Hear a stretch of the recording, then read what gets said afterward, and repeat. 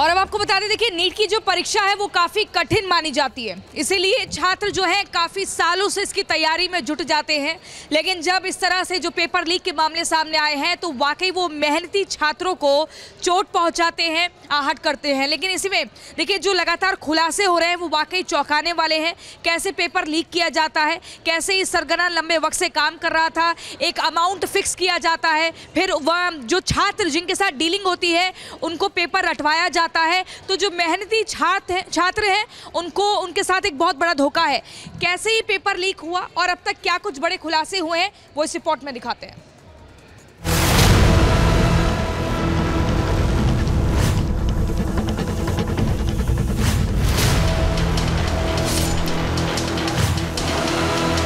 नाम अनुराग यादव 720 में से 185 अंक।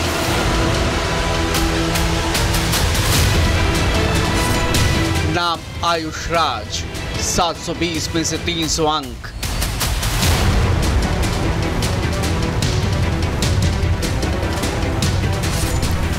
नाम शिवनंदन कुमार। 720 में से चार सौ तिरासी अंक।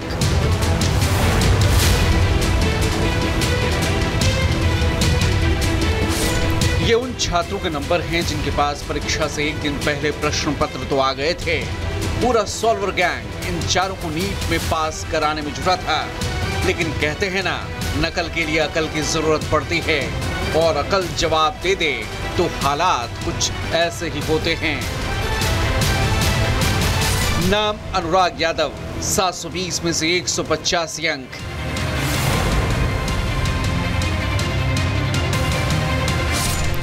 आयुष राज 720 में से 300 अंक।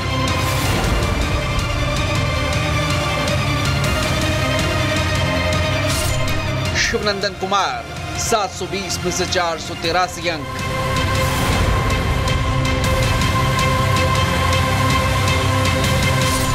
इन चारों छात्रों ने डॉक्टर बनने के लिए शॉर्टकट की तैयारी कर ली थी। 40-40 लाख रुपए में प्रश्न पत्र भी खरीद लिया था और खरीदे प्रश्न पत्रों के जवाब भी उन्हें मिल गए थे। बस अब रट्टा मारना था और डॉक्टर बनने की दहलीज पर पहुँच जाते। लेकिन 24 घंटे में ये छात्र प्रश्न पत्र को पूरी तरह से याद भी नहीं कर पाए और डॉक्टर बनने का सपना चकनाचूर हो गया।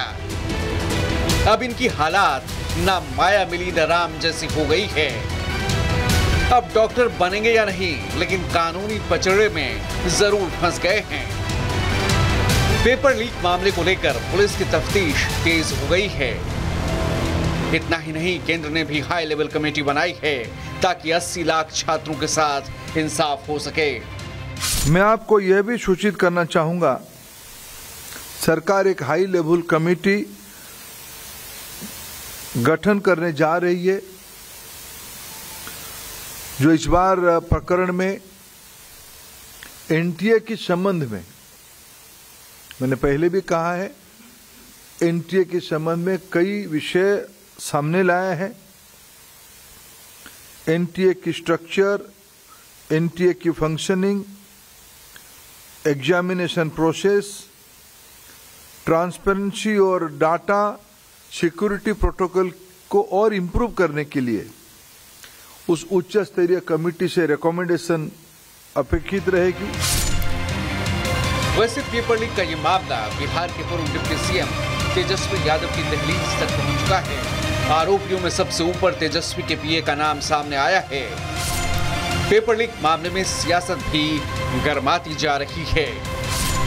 आरोप प्रत्यारोप का दौर जारी है, लेकिन इतना तय है कि इस बार न सॉल्वर गैंग बचेगा, न ही सॉल्वर गैंग के मददगार। Bureau report, republic Bharat.